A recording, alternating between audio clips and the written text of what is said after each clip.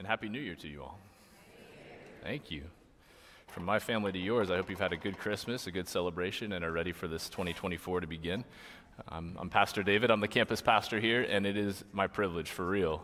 Just like Stacy said that she enjoys her job, it's my privilege for real to share life with you all and to walk life with you together. And I'm so glad that she said she likes her job. We share an office. I mean, that was really, that was a relief. I'm like, oh, good. um, but for real, we love doing what we do um, because it is such a meld of work and life and following God together. And um, uh, New Year's Eve is such a good time for looking back and looking ahead, reflecting and then pondering as well. And so I picked this passage on purpose because I think it's a very good passage for looking back and for looking ahead. Um, in, in, one sense, it's pretty straightforward. I mean, as the Corinthian Christians face challenges or even face death, um, Paul implores them to look beyond their present sufferings, to look beyond what is seen and to look at what is unseen. Um, he lifts their eyes from a momentary kind of mentality so that they can see God and they can see eternity, they can see heaven. Um, it's been secured for them in Jesus. He, he wants them to lift their eyes from this to that, but he doesn't ignore this. Does that make sense? And so the reality that we are, are having both at the same time um, is something that he draws our attention to in this passage. And that's also personally part of why I selected this passage for us today, because I've been pondering something um, deeply personal um, through the last couple months. Um, it speaks deeply to what my brother Rob is going through as he deals with a terminal illness. Um, this was a surprise to us um, in early November did not suspect that he had any illness of any sort. Um, but he's not terribly old, and yet he has this, this diagnosis which is harsh and real. And um, I, I asked him more about this and what he's going through. Um, and it reminded me of this passage because this passage says it in a different way, but in, in his world, he is outwardly wasting away, yet inwardly being renewed day by day. His troubles don't always feel light and momentary, but they are achieving for him an eternal glory that far outweighs them all. He's a longtime follower of Jesus. He loves God. And to watch him follow Jesus through what he's going through right now has been powerful. And I've asked him to give me a sense of what it's like to follow God in this because I have not walked in, in those shoes yet. And, and, and he said something that I've been pondering for weeks. And I wanted to share it with you guys because I feel like this is the life we're all living together. Let, us ponder this a little. I said, What, what is this like for you, um, Rob, to be following God through this hard diagnosis and these harsh treatments that you have to go through? And he said, David, it's the, the wildest thing. I feel like I have one foot here and one foot in glory. That took me aback in light of what I'm feeling for him. And I had to ponder it for a while, and I, I, still kind of am. And so I hope that today doesn't feel just like a bunch of psychological musings, but actually feels like something practical for us. But because um, I think it is. But what I've been pondering since then is like, oh, wait a minute. That's actually my reality too. I just don't often think about it that way. Um, what he's facing, I'm not facing, so I don't often feel the urgency or the pressing in of that moment. Um, so when he said that, I, I, pondered it more and realized that that's my reality. It's a, it's a common human experience to face the end of life. It's just that we don't ponder death in that way very often. The veil between here and heaven sometimes feel th- feels thinner depending on our circumstances. So consider this for yourself for a second. How much do you and I talk about what is seen? You know, this passage talks about what is seen and what is unseen we talk a lot about what is seen. You know, um, a large part of my family's conversations, Amanda and I are talking about our schedule, like what's happening tomorrow, and where are all the kids going, and what are we going to handle today and tomorrow, and um, what is Joanna asking for now? She's hilarious, guys. Um, but she currently has an ear infection and can only hear about every third word you say. And so you're speaking clearly to her, and she says, you know, just keeps on going and just keeps ask, asking the same thing. And we're facing these momentary challenges, these, these things, these moments. And um, we are persevering through them and loving her. And my wife is such a good example of patience to her. um, uh, and then if anybody wants a dog, like they can have mine, you know, like um, there's, there's these momentary challenges, like, um, that just get feel like they're kind of in the way of like bigger things, right? And yet, when I think about what my brother's dealing with, it's like, okay, all of that stuff is just fine. It's not a big deal, right? It lifts my eyes above them real fast. And then what lifts my eyes beyond that to God and eternity and um, His presence in our lives is like the next question. So maybe you resonate with, like, okay, a lot of our talk, a lot of our togetherness, and what we share together is about what is seen and right in front of us. We hit challenges, though. We hit confusion along the way that sometimes drags us out of that as well. And we think about the really hard things that we're facing in life. We hit a crossroad of a decision and we're not sure which way to go. You know, we're not sure what to do. It feels confusing. As followers of Jesus, that often leads us to what? Seek his direction, seek clarity from him. God, what would you have me do in this moment of, of lack of clarity or indecision? Um, we pray for God's kingdom to come on earth as it is in heaven, and we seek that. So I'm, I'm grateful that at least our thoughts get that far. But what I'm pondering beyond that is that we speak less of eternal life that starts now and lasts forever, about how heaven invades earth, about how God's kingdom comes and breaks in. And um, how much do we speak about that, which is a little less seen and more about what is unseen? When I find God's direction through prayer and His Word, I sometimes feel conflicted because my sinful nature wants to go my own way. Then I'm left at another crossroads. Do I speak actions of love through obedience to the Father or lean on my own understanding? Which am I going to do? And there are times when that crossroad occurs as well. But the older I get and the more practice I have at following Jesus, um, I feel less and less in opposition to him, like I'm going a completely different direction, I now wonder more about this and see if this resonates with you um, as well, especially those who have been following Jesus a little bit longer. I wonder more now about how he makes the crooked paths more straight. this work he does in my life to make it more obvious which direction to go and to follow him into it. The word says he's going to do that. You know, and John the Baptist even said, you know, make the way, make the path straight. He came to, to make the path clear that Jesus the Savior was coming, that we might have this kind of life where we're not in opposition to God or fighting against Him all the time, but we actually feel like He is our advocate, our friend, our Savior, and our Lord and our Father, and all these titles we put on God and know Him to be because He is this amazing Trinity of Father, Son, and Holy Spirit. So now I'm wondering more about how He brings my heart and my decisions in, into alignment with Him and I feel less in opposition with him. But now I have a new kind of gray problem when I feel like the way is clear and I know, okay, God, I'm going to follow you into this. Now my new gray problem is is this my gut or is this God? is this, uh, I know I'm not opposing to him, but is it him or is it me? and um, that's where I, I want us to lean into the presence of God a bit, because this leads us to the daily practice of the presence of God this is where we get deeper and follow Jesus into 2024. Some of you may have read the book by Brother Lawrence, um, Practicing the Presence of God. Um, there's uh, another book, my brother Rob, not Brother Lawrence, my brother Rob, um, has been reading The Practice of the Presence of Jesus by Joni Eareckson Tada. This is a fairly new book that just came out which is her reflections on the writings of Brother Lawrence on this very topic of how to lean into God's daily presence, that He, recognizing that He is with us already. We don't have to wait until heaven, His presence is already here. And what a great Christmas gift that Rob gave to each of us, so many of us, that we could read together from this book as we are already drawn into what God is doing in this very moment in His life. We're already thinking that way, and yet He gave us a tool to do that. He's a good big brother. Rob, I love you if you're watching this. Jenny, I love you too. His wife, his kids, I love you guys. And um, we're going to walk through this together. But my brother's statement about having one foot in here and one foot in eternity um, is one that echoes across the verses that precede this chapter in 2 Corinthians. Listen to these verses.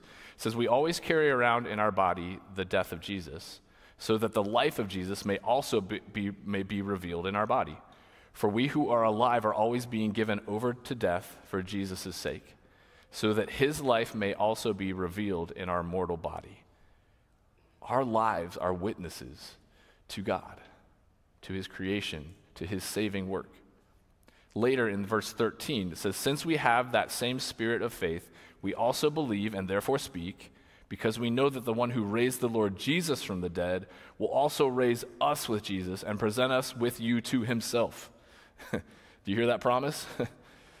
Jesus has already risen from the dead. He has done that good work, and He is the foretaste of what is to come. And so, our confidence that is spoken about later in this verse is in Him and in that resurrection, that we too will be raised and presented before God by Jesus, uh, the advocate, who says, This one is mine. this is ours. We're His. And that confidence walks with us day by day. All of this is for your benefit so that the grace that is reaching more and more people may cause thanksgiving to overflow to the glory of God. Now, Angie read the passage just earlier. Thank you, Angie. And it started with this verse in 16 Therefore, we do not lose heart. And I think you just heard why. But let me say it again. Why? Because one, we know that the Father has saved us through Jesus. It's done, it's finished, and we can rest secure in that and we can live in that. We do not have to be on wavering ground. We do not have to walk around with extra burdens, although we do carry them at times of our sin and shame, but we can be freed from those things, and it is a great gift of God to live in that way versus another way. That is our great gift to share with other people, amen? to let them know they can have that too, and they don't have to be stuck in this. And what a fun joy that is to share it with people. It's very satisfying to share it with people. It's joyful to do that. Number two, we know that even in, our, in death, our lives testify to God. Think about some of the lost loved ones that we have in our lives whose lives still testify to God, that we still tell stories about, that we still thank God for.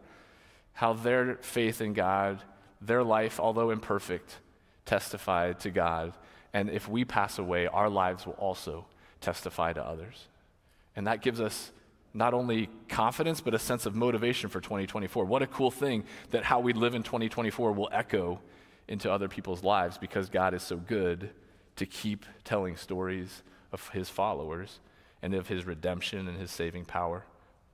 And then, three, I think one thing we can ponder further is that God has not been secret about what matters most. When we examine the heart of God, we can start to see quickly what matters most to Him and therefore what matters most in life to us.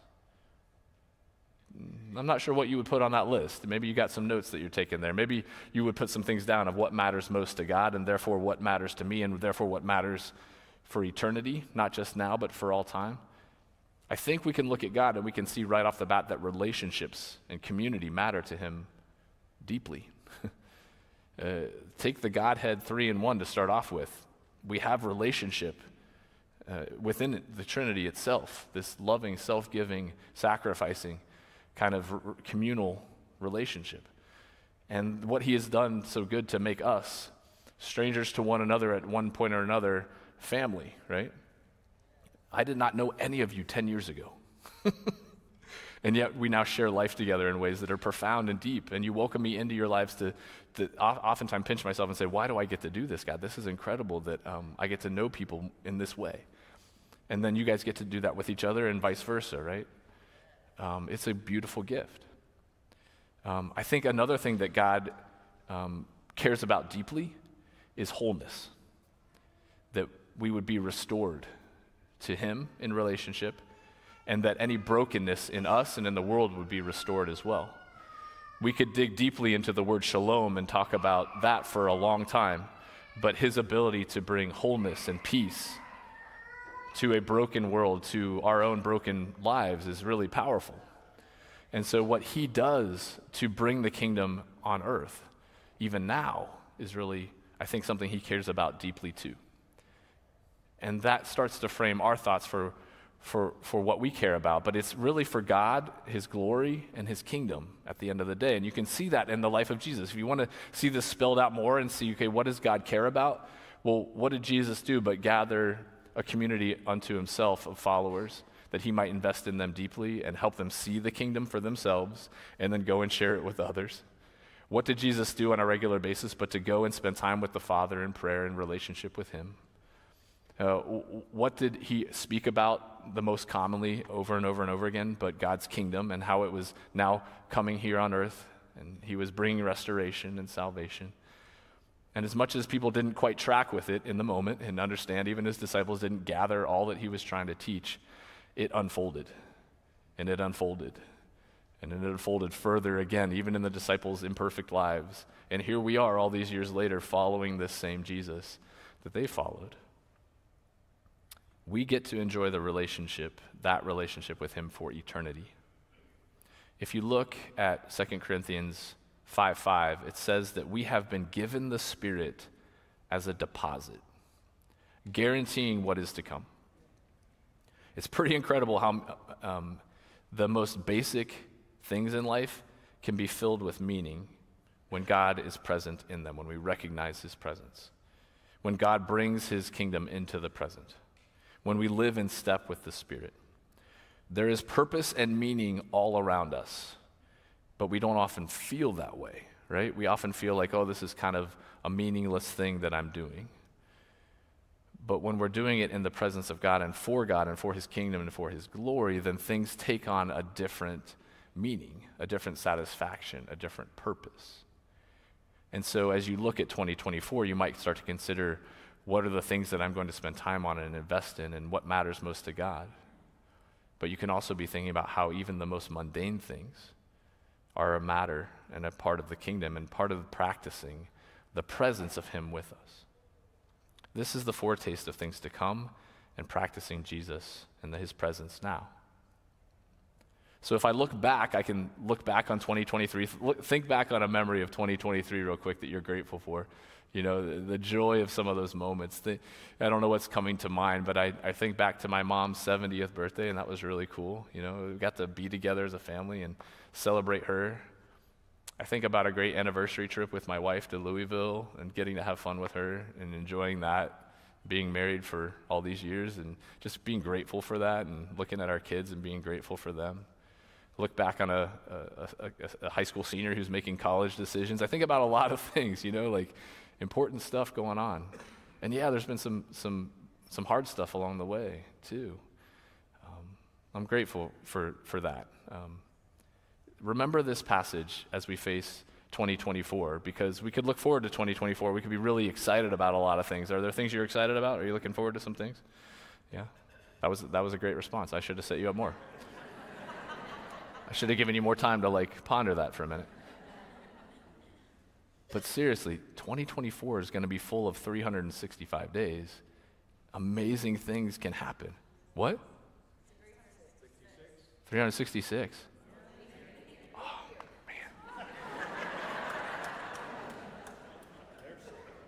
See, I'm glad I have you guys. This is good. this is the give and take of life together, all right?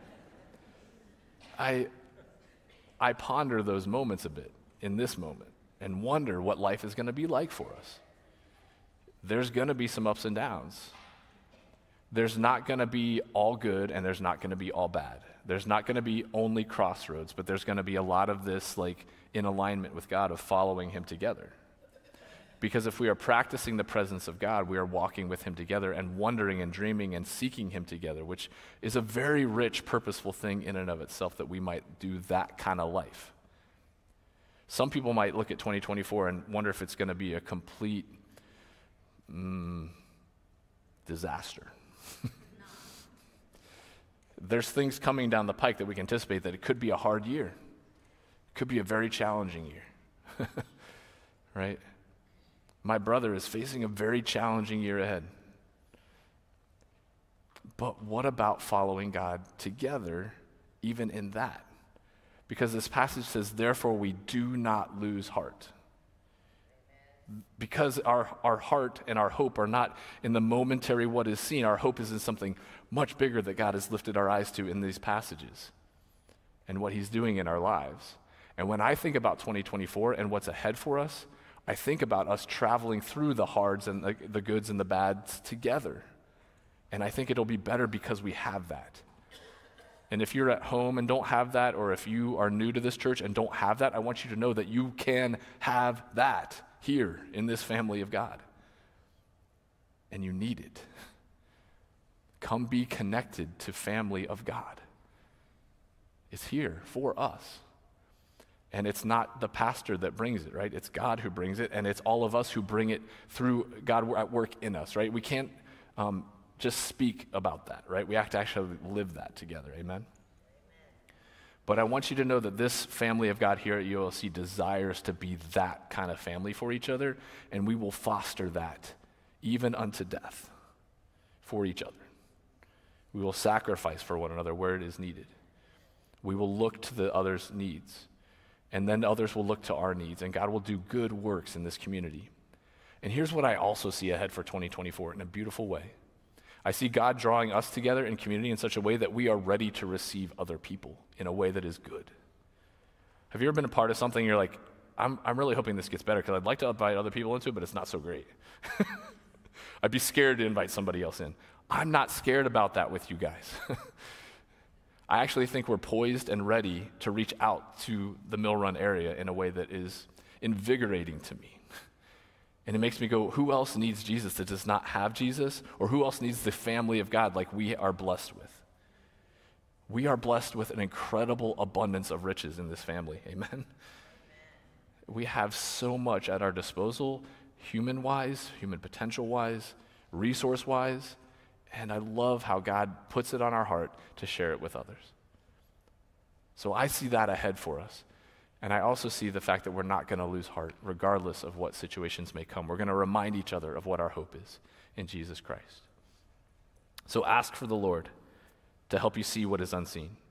Ask for the Lord to lift your eyes beyond what is seen to what is unseen. Ask Him to actually bring those things more into um, collection and togetherness versus keeping them separate, as if eternity is only out there for when I die. The kingdom is now, the kingdom is here. As a follower of Jesus, you indeed have one foot here and you have one foot in eternity already. It's true, it's profound, it's real. But we want to praise God for it. And so let's go to the table and let's pray. God, thank you.